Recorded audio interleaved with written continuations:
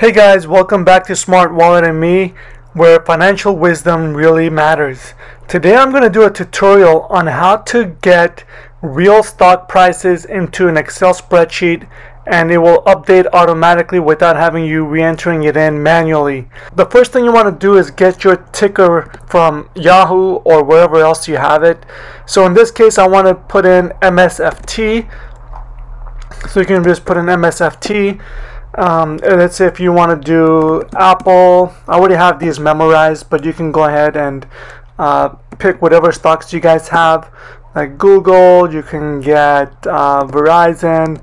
In this scenario, in this particular case, I'm just going to use these four stocks. So click anywhere on here and then do Control T or Command T to convert this into a range.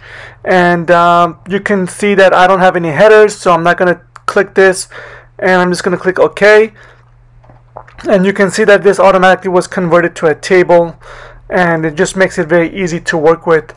So now click all of these ticker symbols and go to your data tab on the very top here and then click on stocks.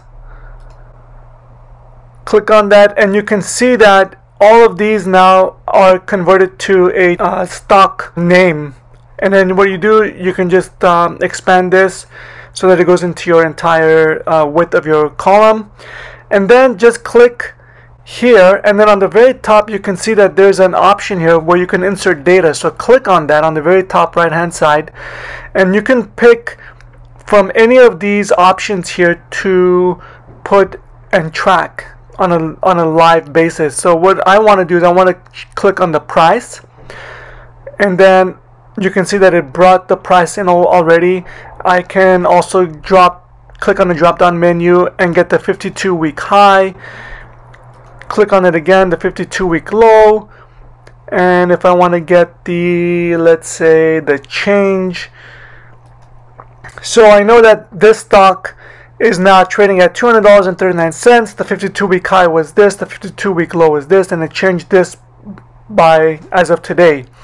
And furthermore, what you can do is just click on this column here and go to your home tab and do a conditional formatting. So here what I want to do is I want to say highlight the cells that are less than zero.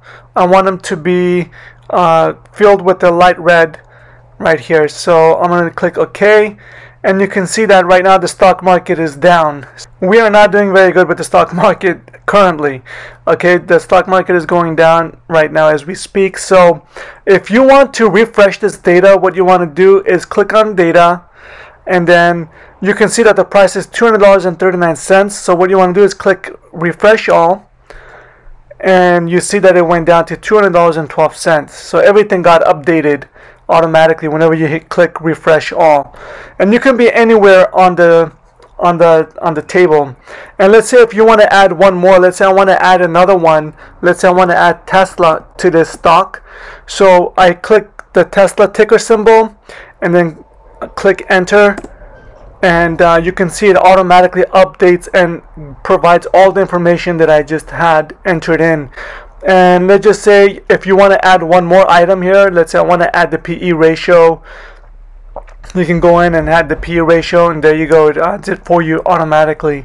And then you click on refresh all and it refreshes everything. You see it just keeps going down Anyways, guys, I hope this information was useful for you. And um, if you liked it, please give it a thumbs up and subscribe to my channel. I know a lot of people are tracking their stocks, and this is a very easy way to keep track of it and to update the information automatically. Alright, guys, I'll see you guys in the next video. Thanks for watching.